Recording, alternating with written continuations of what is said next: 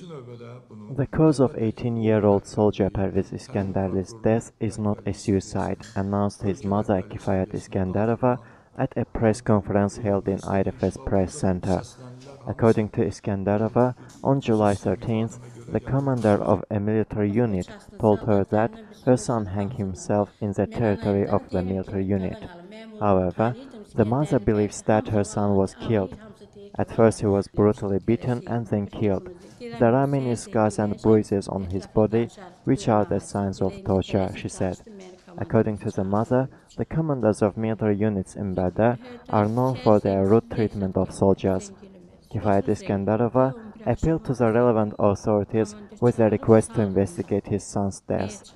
According to Center for Democratic Civil Control of Armed Forces Director Alakbar Mammadov, the State Military Prosecutor's Office has launched a criminal case in connection with the case and three soldiers were detained as suspects.